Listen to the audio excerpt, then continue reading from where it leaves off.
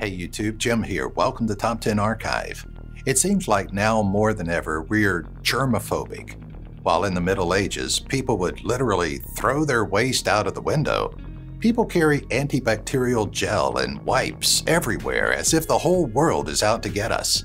Although bacteria are actually mostly good for you, like the ones found in your favorite yogurt, not all bacteria are as friendly to us humans. Curious to find out which? They're closer than you think. Here are the top 10 bacteria that can kill you. But before we get started, why not become an archivist today by clicking that subscribe button and notification bell so you don't miss out on any future uploads. If you end up enjoying this video, let us know by giving it a thumbs up and in the comment section, tell us if you've ever encountered bad bacteria before. Number 10. E. coli hemorrhagic colitis. E. coli isn't unheard of. We always think of some kind of bad meat when faced with this particular song. The bacteria are usually harmless, living in the intestinal tract, and come out in fecal matter. There are many kinds of E. coli, but some are just plain evil.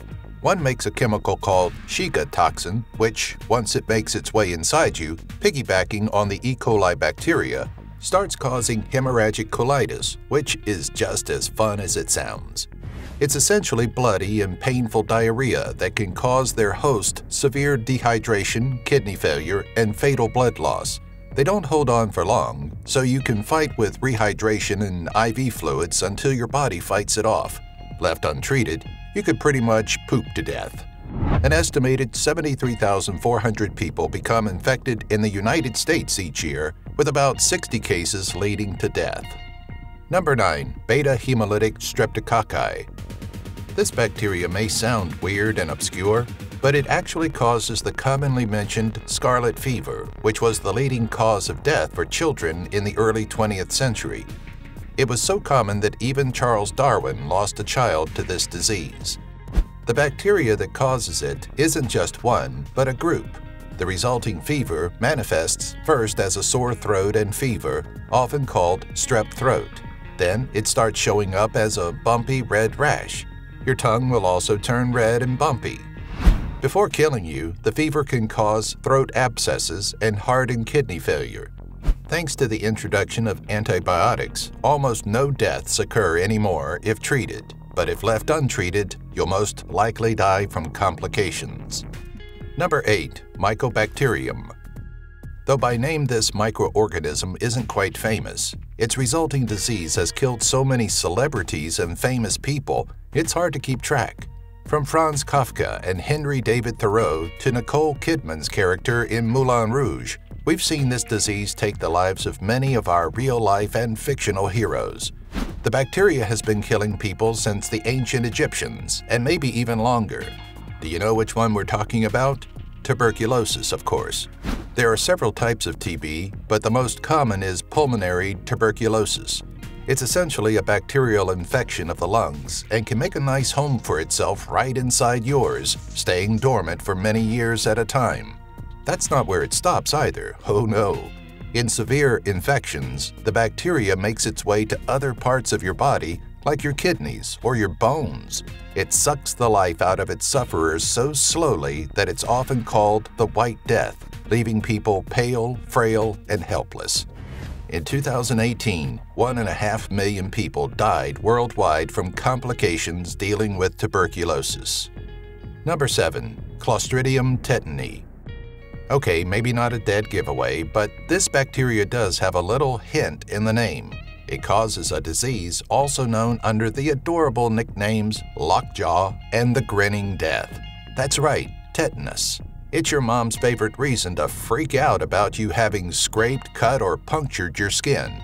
The disease is caused by the Clostridium tetani bacteria, which is found in dirt or contaminated soil, and starts destroying your whole system using a toxin called tetanus toxin which binds between nerve cells and muscles, which cause muscle spasms.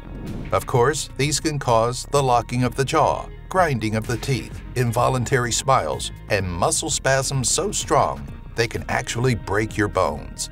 Of course, death can come as a result of any of these symptoms or from paralysis of the respiratory muscles.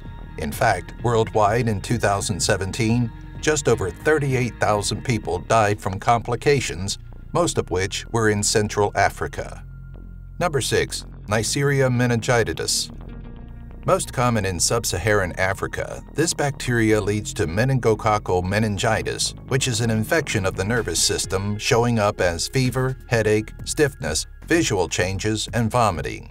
Sometimes people develop rashing and bleeding into the skin and organs. The infection caused by Neisseria meningitidis is fatal. However, modern medicine has allowed vaccines that make it less prominent and not as large of a threat as it used to be. Even with proper treatment, though, roughly 170,000 people die globally every year. Number 5. Bacillus anthracis. This bacteria causes a very familiar disease and bioterrorist weapon. Can you guess what? It's anthrax. It's found in three forms respiratory, skin, and gastrointestinal. It's super dangerous because its spores can be transmitted through the air, and the inhalation of it is absolutely deadly. In fact, back in 2001, it used to contaminate U.S. mail envelopes. When contracted through the skin, you'll see ulcers surface, but that's the less severe of the types. Inhaled, it starts with flu-like symptoms and moves to chest pain, shortness of breath, and blood infections that eventually cause death at a rate of 80% actually. The gastrointestinal one is obtained from undercooked meat and also causes ulcers, just on the inside, anywhere from your mouth to your anus. You're welcome for that image, and can cause serious bleeding. Anthrax is so strong, it can also infect your brain and spinal cord, Basically, it's vastly unpleasant, but treatable, so rush to a doctor, yeah? Number 4. Leptospira. This bacteria pretty much is yellow obsessed. From its spreading to its resulting symptoms, we find this color everywhere. This bacteria is coiled and spiral and spreads from animals to humans, usually through urine. It causes a disease called leptospirosis which doesn't always attack the same way and can be difficult to diagnose. Sometimes those infected have no symptoms whatsoever. Other times, the skin turns yellow and your kidneys fail, which usually leads to death. It is estimated that 7 to 10 million people become infected worldwide annually, with 59,000 of those cases becoming fatal. Number 3. Treponema pallidum this bacteria causes the well-known and stigmatized syphilis infection. It's often called the great imitator because it loves to play hide-and-seek dress-up. This is a game when you dress up like other diseases to hide from the treatment that's going to eliminate you entirely. It's not really fun, but it's little syphilis's favorite. Famous people in history, such as Van Gogh and Beethoven, probably had the disease, according to historians. The infection has three stages. The first, ulcers on the genitals which could resolve or even go unnoticed. Second, flu-like symptoms. Finally, a rash appears as well as hair loss, headaches, and liver inflammation. Then what? Well, then it goes to sleep, sometimes for up to 30 years, when it might start at a late phase causing heart problems, infecting your nervous system, and even causing insanity. Although cures have been available, roughly 100,000 people still die annually worldwide from the disease. Number 2. Clostridium difficile. This infection happens when the bacteria war going on at all times in your intestines between the good guys and the bad guys is won by the latter. The intestines become infected, swollen, and they can even burst. The resulting disease is called toxic, toxic megacolon. megacolon which may or may not be my supervillain name. Severe cases will have patients on the operating table getting entire sections of their bowels removed to save their life. It doesn't even have to get to the point where there's bursting or perforation. The infection alone is enough to seriously threaten your life. Luckily, this disease is also treatable when caught in a timely fashion. Number 1. Necrotizing fasciitis. Finally, one we know and hate flesh-eating bacteria haunts all of our minds. This bacteria infects tissue and starts causing the death of the actual structures. There are actually lots of bacteria that cause this. During the U.S. Civil War, there were a lot of cases in which soldiers suffered the disease in, brace for impact, their genitals. The best part, a lot of guys gained lovely tenor singing voices. Just kidding about that. There was no best part. The worst part? There's nothing you can do at this point.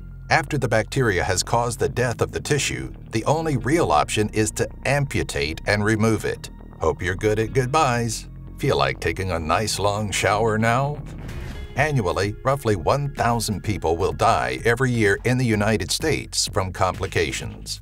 Thanks for watching. I'm not sure what you'd want to say about any of these, but I'm sure you'll have something creative to share in the comments. Please do so. Also, subscribe, click the bell to inoculate yourself against not receiving news about future videos when uploaded. And be sure to give this video a like. Okay, I'm going to go wash my hands now. A lot.